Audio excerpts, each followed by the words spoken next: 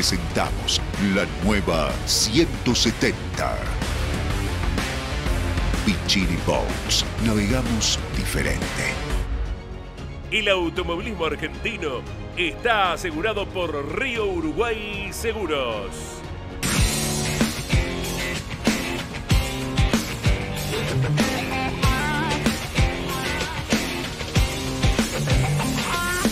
Vení a Córdoba. Disfrutamos fácil.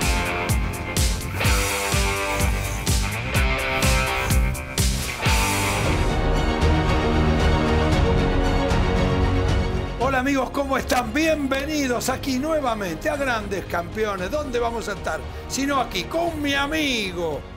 ¿Cómo le va? Qué buen jopo que tiene hoy, ¿eh? Ah, también ahora con el Jopo. No, escúcheme, pero yo lo veo bien, lo el veo. suyo como lo viene. veo bronceadito. Me No, parece que bueno. usted está más tiempo en Pinamar que Usted acá. sabe ¿eh? que estoy utilizando unas cremas especiales. Ah, que me da una amiga, una amiga me da unas cremas especiales y estoy rejuveneciendo bastante. Eh, bueno, eso va y Verónica, todo hecho en casa. Made in house. Y in gratis, home. y gratis, que es fundamental. si viera lo que cuesta. Bueno, señores, perdonen, perdonen esta, este, estos chascarrillos, pero es así nuestra vida, es la vida real nuestra. Por eso ahí, eh, usted va a ver dos personajes más de la vida real, uno de 9 de julio y el otro de Córdoba. ¿Cómo le va? Hola, hola. Bien, bien, ¿cómo todo andan? bárbaro, como le va Yoyito, Ángel, Cocho, todo bien. Bueno, lo veo bien, realmente ¿Le lo puedo, veo bien. le- le puedo decir antes de empezar eh, Alta a, consultarle al señor Reyes? Eh, porque hay muchos amigos que me llaman y me dicen, ¿cuándo voy a saber el sorteo del cuadro del señor Reyes? Que ahí lo estamos viendo Ah, otra vez de fondo. ¿Cuándo va a ser el sorteo, señor Reyes? Y todo depende de Claudio Leniani y la Oh. producción del cuadro acá está, disponible Bueno, vamos, para vamos, cuando lo decida la producción. fua. Dígame, ¿usted vio eh, cuando el famoso Colapinto estaba mirando uno- uno- unas zapatillas espectaculares y dijo, altas llantas? Usted, Reyes desde Córdoba, ¿me puede mostrar las altas llantas que nos van a tocar? Ah, amigo, amigo. No sé si la están viendo, le voy a mostrar la trompa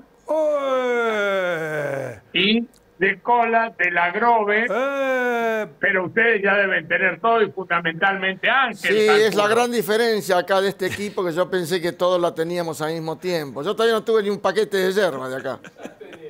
Mire, Qué mire, yo ando con esto. Sí, mire lo Se que ve que tenemos, no se lo está mereciendo. Bueno, arranquemos, señores, porque hay mucho automovilismo. A ver, Yoyo, ¿qué le voy a preguntar al Yoyo sino de la onda, esta onda de 21 años que viene arrasando? Cuénteme algo para empezar. Sí, ¿cómo están? ¿Cómo están, Angelito, eh, Cocho, Gaby? La realidad, primero, primero, yo creo que como reflexión, para mí por lo menos, hacía muchos muchos años que no teníamos una Fórmula 1 como esta, ¿no? Con, con una, una variedad de, de primeras posiciones, de, de- de triunfos, ¿no? Y este fin de semana, bueno, fue un fin de semana muy, muy bueno, muy lindo.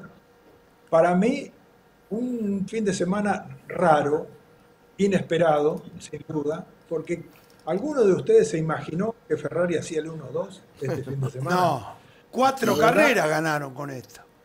La verdad, increíble, increíble. Pero bueno, yo no sé si guardaron algo, yo no sé si encontraron el auto el sábado después de la clasificación, no sé qué pasó, pero tuvieron dos autos extraordinarios, hicieron el 1-2.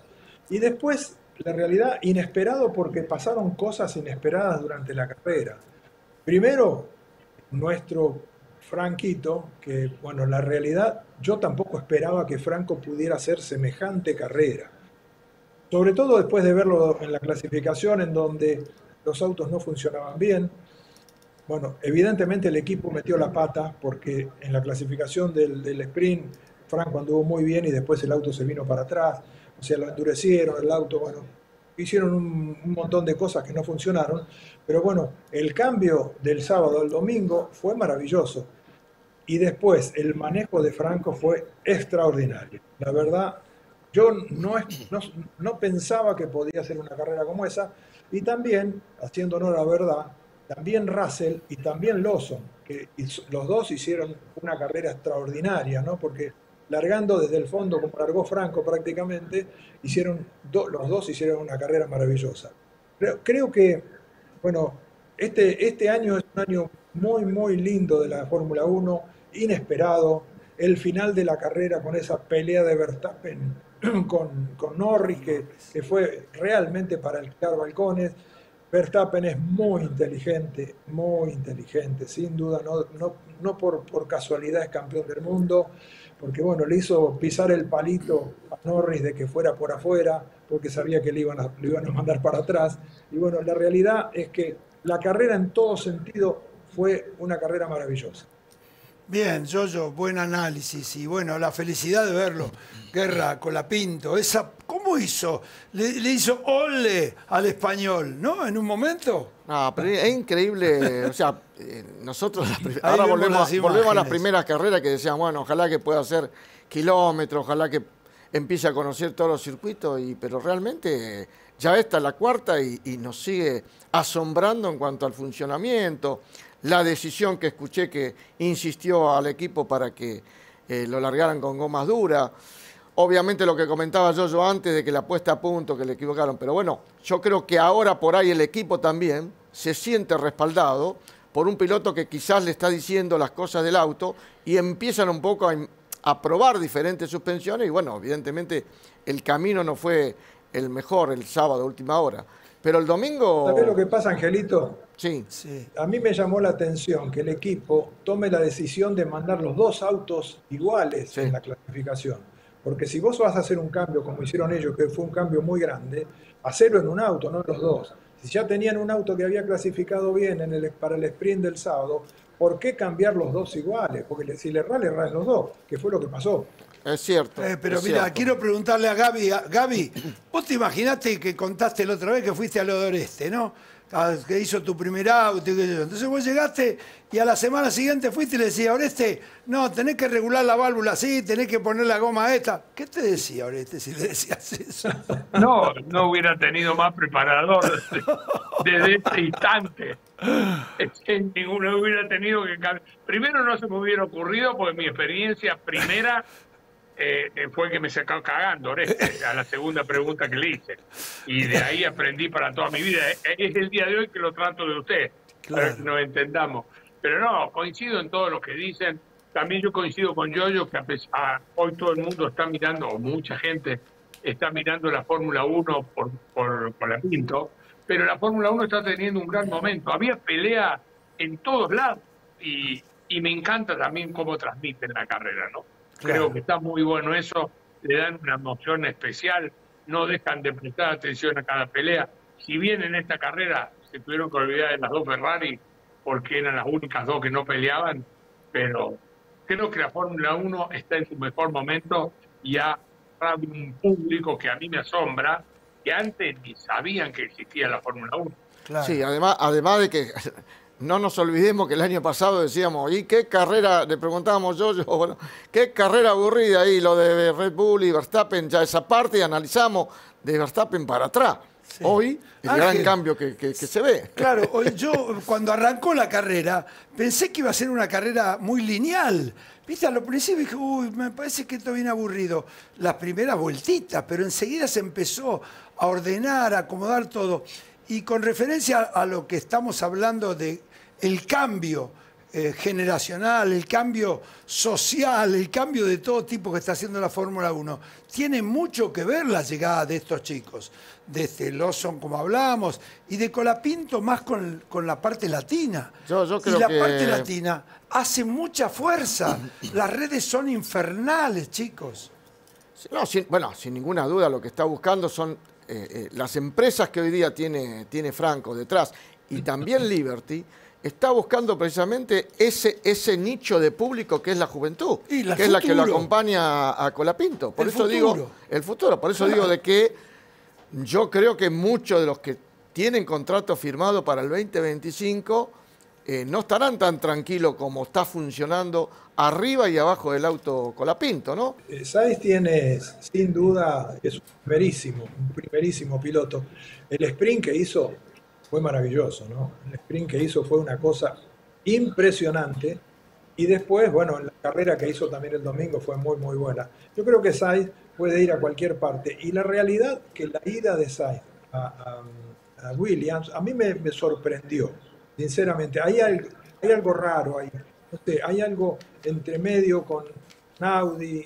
La realidad no lo entiendo bien a ese cambio. Por eso, por eso. Pero bueno, Sainz puede ir a cualquier parte. Bueno, no, pero, pero perdón, yo creo que a raíz de que no, no fue Franco que mueve todo el tablero, pero después de ahí fue una, una, tanda de, movimientos de equipo medio, medio raro. Yo no sé si termina Sainz en Williams y si a Williams le conviene tener los Sainz. Dejemos pasar y dejemos el interrogante que esto que lo escuchen todos así después lo comentan en la semana todo lo demás También, también porque nos escucha a nosotros y después comentan en la semana lo que lo que traemos el padre de Sainz debe estar diciendo también Carlito si vas a William y no tenemos a Tenene, que está acelerando con los dos pies, y no hay, no hay eh, eh, piloto uno, te va a hacer transpirar bastante. Bueno, ¿eh? pero por eso digo, eso digo, todo, todo pasa por una cosa.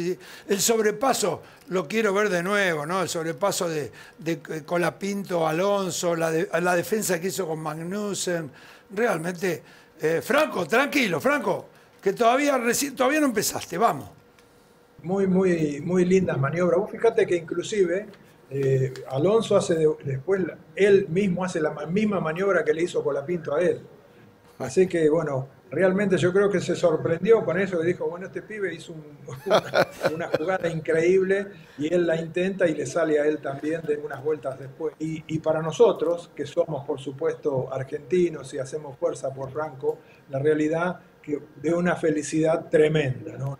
mejor, mejor no pudo haber sido la carrera de Franco. Sí, sobre todo, eh, chicos, porque hablamos de un eh, autódromo como este del de, circuito de las Américas de Austin, Texas, eh, que hablamos de un, circuito técnico, muy técnico, y, yo le explicaba a la gente que es para los pilotos un circuito técnico, porque en los callejeros vos te tirás donde podés, lo acomodás, se va cambiando el piso. Acá se mantiene todo y por la tecnicidad vos tenés que frenar siempre en el mismo lugar, doblar siempre en el mismo puntito, acelerar siempre en el mismo lugar durante dos horas. Sí, esas, esas, ese veloces, ah, eh, coche, no te, se copió no te podés desconcentrar en nada, en nada. La cabeza... Eh, Hay una cosa para mí espectacular. Sí. Y es que, fíjense, miren la secuencia de cuando Franco lo pasa, Alonso, no antes ni cuando lo pasa. Fíjense después, después. cuando lo pasa, cómo lo tiene realmente increíble. Se pone exactamente en los lugares que hay que ponerse para que no lo vuelva a atacar. E-, eso realmente, este chico parece que, que tuviera 100 carreras en la Fórmula 1, no 4. realmente Es, sorprendente, la verdad nos, tiene con la boca abierta a todos. Su compañero de equipo hizo la carrera número 100. Evidentemente que... Eh, ya empezó en complicaciones. No, no, pero es así, ya, por supuesto. Bueno, es así ese equipo. Pero eh, esta juventud, estos jóvenes pilotos, con esta tecnología que están usando, evidentemente es el, camino de ellos, es lo que viene. Es lo que viene, ahí lo tenemos a Lawson para repetir, y hay que ver cuando se sube el Tanito el año que viene. El Kimi Antonelli. Y, un par más que están ahí arañando. Atención con lo que va a venir, ¿eh? Atención con lo que va a venir. Eh, Gaby, eh, ¿Qué piensa la gente en Córdoba? Que siempre te hago la misma pregunta, que son tuercas, pero son tuercas de los rally y ven la Fórmula 1 como, un, como que se está llevando todo por delante. La gente acá es del rally por el tema del rally mundial y todo, pero a la gente le gusta mucho el automovilismo, mucho, inclusive las carreras de, de artista, en el Cabalén siempre va gente. Ahora que se va a correr 2 y 3 de, de noviembre las camionetas, hoy todo el mundo ya está preguntando en marzo el, Campeonato del Mundo de Motocross. El, el cordobés le gusta muchísimo todo lo que es el deporte motor en general. Y de, la Fórmula y de Franco, te preguntan, yo le aclaro a todo el mundo que yo a Franco con la Pinto no lo conozco, nunca estuve con él personalmente, pero me encanta cómo es en todo sentido él, ¿no? Porque vos fíjate que no sé cuántos pilotos pueden decir, siendo tan joven como él, eh, yo insistí que pongan la goma dura y los convencí. No sé cuánto hay que se animan. No sé cuánto hay que se animan hoy en la Argentina a decirle a un equipo de, TC qué hacer, ¿no? A mí, a mí me gustaría saber ustedes qué piensan, porque con esta ola de Colapinto, todo el mundo, o sea, primero que fortalece también nuestro automovilismo argentino por todas las empresas, pero ¿qué es lo que conviene más? Porque ahora con esta ola todos se quieren hacer proyectos y cosas. Que venga la Fórmula 1 a nuestro país o que las grandes empresas privadas que podrían hacer eso y que están con Colapinto hoy, empecemos a pensar en tener un gran semillero de chicos jóvenes y esa plata que se destinaría para un gran premio Fórmula 1, muchachos, hacer como hacía Brasil, tener 6, 7, 8 chicos, pilotos jóvenes y ya mandarlos a Europa. ¿Cuál de los dos proyectos a ustedes lo convence más? Muy bien, Guerra, lo que planteó. Yo no tengo ninguna duda, ninguna duda, me inclino por el de mandar chicos a correr afuera, eh, porque yo creo que no solo el gasto que es traer la carrera y arreglar el autódromo, sino que todo lo que se haga en el autódromo, después hay que mantenerlo. Y no sé si estamos capacitados para eso. Sí para mandar pilotos afuera. Y si después puede enganchar, como en el caso de Colapinto, tener el futuro asegurado. Yo, yo. Igual, igual. Coincido, coincido con Gabriel, con Ángel. Sin duda, sin duda. No, no, o sea, para el futuro de nuestro, de nuestro automovilismo o, del seguimiento que podamos tener nosotros como, como eh, semillero, es mejor tener, o sea, en vez de invertir en un autódromo para tener una carrera por año, es mejor invertir que si tenemos, o sea, uno, que si el día que tengamos 6, 7 pilotos, tenemos, es mucho más fácil invertir para el autódromo porque ya convenciste a todo el mundo. O sea, hay que sembrar desde abajo y, para sembrar desde abajo hay que tener pilotos que estén corriendo. Bien, bien, eh, les digo mi opinión. Se puede hacer todo, sin ninguna duda y tengan fe que se puede hacer todo. Se puede hacer la carrera dentro de tres años, se puede mejorar el autódromo, no, hay que, no, es, no es tan grande la inversión del autódromo y se puede recuperar mucha plata con una carrera de Fórmula 1 si la hacen los empresarios. y con eso, esperá, esperá. ¿Qué no es mucha plata? No, no. ¿Qué no es mucha Después yo te lo digo. yo estoy con el autódromo Cabalén y tengo los números claritos. No, pero. ¿Cuánto crees que hay que invertir para, eh, para, arreglar el autódromo no, Buenos Aires? No es. Gaby, yo te lo voy a dar más adelante. dame tiempo. No es mucha plata porque el final de la historia la recuperación que se hace en el país haciendo un gran premio de Fórmula 1, para los empresarios es dinero que ponen y que se lo devuelven constante y sonante rápidamente. Mirá lo que te digo. Porque ya hicieron el cálculo. Esperá, esperá, esperá. No se puede. Esperá, pero dejá. plata para Colapinto cuando Colapinto se subió a la Fórmula 1. Pero hay que pone antes. Ey, pero déjame terminar. Esta onda hay que agarrarla. hay que subirse. Déjame terminar. Eso es la primera, una de las partes, una de las patas. La, segunda pata es todo lo que ingresa al país por turismo, por, por imagen, por todo lo que se imaginan que, que no pone nada el país, pone la, pone la fecha, vamos a decir, porque dinero no tiene que poner, lo ponen los empresarios. Y esas dos patas hacen que el dinero que se recaude también esté dentro de un proyecto de futuro para todo el desarrollo ese desarrollo que ustedes tan bien dijeron. Pero dígame que ya está en marcha eso, nosotros lo dijimos recién, usted ya lo tiene en marcha. Una cosa de loco, Guerra, López. Guerra, ¿quién es el conductor? Pero escúcheme. ¿Quién es el, bueno, escúcheme. Todo colectivo que pasa se sube, usted, López. una cosa de loco. Le voy a decir, se suben a mi colectivo. ¿El helipuerto, se, va, ¿el helipuerto se va a modernizar o no? Pero sí, el mire, mire ah. hicimos el helipuerto del autódromo y cambió el autódromo, y cambió el autódromo. Empezaron a mejorar. ¿Sabe? Mejor, no coincide, no digo nada. Cada uno tiene su opinión. Que el público también opine a través de las redes. Y ya les dejo. momento, momento. Es fácil. De... Pocho, pero vos hacela fácil hagamos todo. Sí, si mi abuela tuviera ruedas sería un triciclo. Pero no era así. Hoy hay abuelas jóvenes que tienen que son un triciclo. Modernícese. Vamos a correr con las cupis. Mire, ah, mire en qué me voy. Me voy al turismo de carretera. Escúcheme. y me voy al turismo de carretera moderno, moderno. próxima lista. Señor Reyes, próxima lista, Cocho López, presidente. vamos al tema y no me contesta. Eh, ya, ya le contesto, ya le contesto con el nuevo turismo de carretera en el próximo bloque. No se vaya y opine, ¿eh? usted a través de las redes que se debe estar riendo en su casa. Ya volvemos.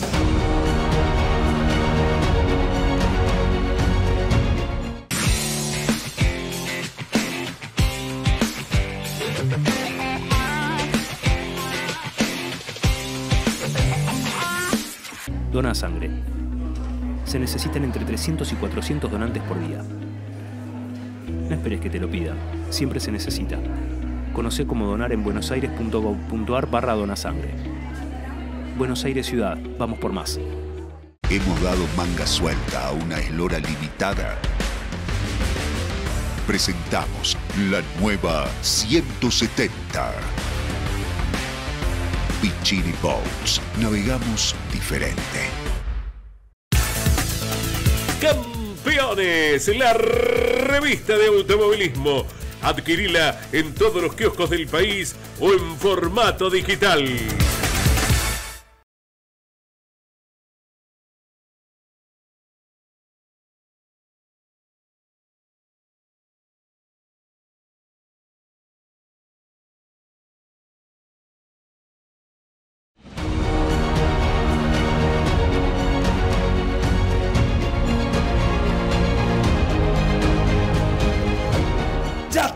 Regreso y, me voy al TC y le voy a contestar con esto al señor Reyes. El turismo carretera es la abuela con tres ruedas.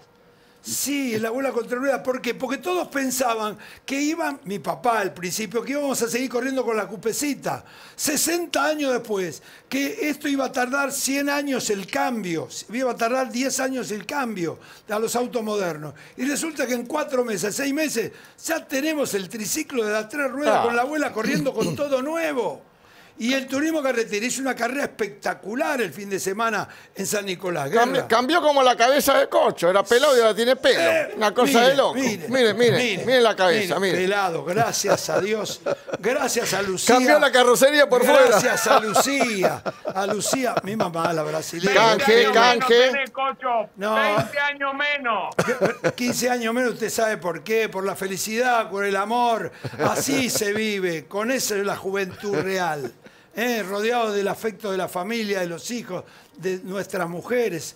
Esa es la realidad. Vamos al turismo carretera, le pido por favor.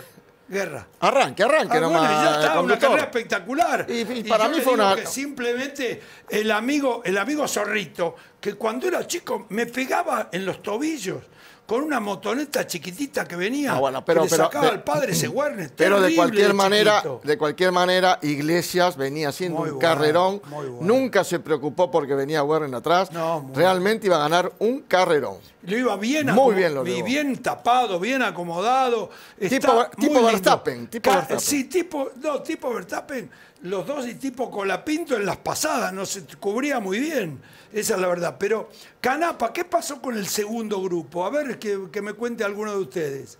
No, bueno, Canapa no contaba con el auto que, que se merecía, digamos, para estar en la punta. De la iglesia y Warner tenían dos autos distintos, eh, iban mejor, sin duda. De la iglesia, tener a Werner atrás, hay que sacarse el sombrero porque no es cualquiera. Werner es, peligroso tapando y es peligroso atacando. Y este chico, la verdad, la llevó bárbaro. Yo quiero felicitarlo a Diniglio por el auto que había hecho. Y también quiero que hagamos algún comentario que antes que nada, claro que no hubo, creo que no tuvo ninguna maldad, pero la, la maniobra del bochito con Santero eh, eh, es, es parte de esa carrera que, le, le- le dio un sabor también importante a cómo queda el campeonato, ¿no? Sí, sí, Sí, se- pero descubrieron, descubrieron que ¿no? las llantas tienen un, un imán muy potente. Ahí creo que estuvo el problema Sí, de acercamiento. Se le, se le cruzó, se le cruzó. Bueno, un error. Mucha juventud, mucha, mucha testosterona, dirían las abuelas. Pero igual, ojo, ojo que en la maniobra sí, fue brusca la de Ciantini, pero Muy ya brusca. Santero también venía para este No, lado. no ¿eh? importa. Suave, no. pero venía. No, demasiado brusca. Yo, yo, en la clasificación, muy parejo todos, en nada estaban todos los autos juntitos. Sí, sí, eso es lo que llama, mucho la atención del TC, ¿no? La realidad es que son muy parejos los autos y bueno, y define un poco la posibilidad de cómo va a ser la carrera. si bien que de la iglesia y, Werner se escaparon, bueno, tenían dos autos para la carrera superiores, ¿no? En la clasificación no parecía eso, porque no, por eso. muy, muy, muy, muy pareja. Yo, yo, Realmente yo, yo, este, está muy, muy lindo, muy lindo el TC. Y bueno, una lástima lo de la iglesia que faltando tan poquito, creo que a todos nos ha pasado, ¿no? Pero la bronca que te da, que faltando nada, que te, que te quede realmente es injusto. Fue un problema diferencial, dijo el amigo, el, hijo de Antelo, sí, el auto venía zapateando, zapateando mucho. Era el hijo de Antelo, el hijo grande de eh, Antelo. exactamente. Fran, Ah, Fran Nuestro amigo Fran Exactamente, bueno. Venía zapateando por eso algún problema. Pero bueno, hay que esperar. Eh, eh, hay una revancha. Lo más importante como siempre digo, cuando veo el autódromo repleto de gente, increíble ver la cantidad de gente, la casa rodante, infernal, realmente infernal. No me quiero imaginar lo que va a hacer Toay. Toay va a explotar seguramente porque ya se define el campeonato, que están ahí cerquita. Santero se acomodó Werner, epa. Bueno, hay, hay para antes tenemos las camionetas en Córdoba, Cocho. 2 y 3, 2 y 3 de noviembre va Va a ser toda una novedad porque es la primera vez que vienen las camionetas acá a Córdoba. Bueno, les cuento, fin de semana que viene a prepararse, que está la Fórmula 1 en México, ¿eh? otro circuito difícil y técnico, chicos. Ahí vamos a ver cómo resulta la quinta para nuestro gran Franco Colapinto. Y por supuesto hay también automovilismo local.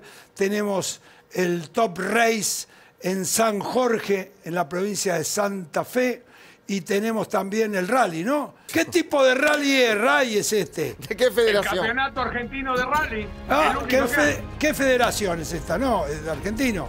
No, es del ACA, el del ACA. Ah, el del ACA, ¿viste? Mirá, si nosotros nos confundimos, señor, no me imagino lo que usted debe estar pensando. Gracias, chicos. Hasta la semana próxima. Gracias.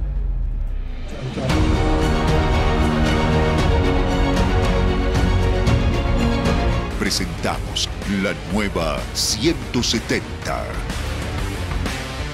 Pichini Boats. Navegamos diferente. El automovilismo argentino está asegurado por Río Uruguay Seguros.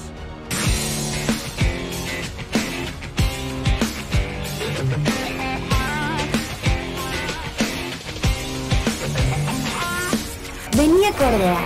Disfrutamos fácil.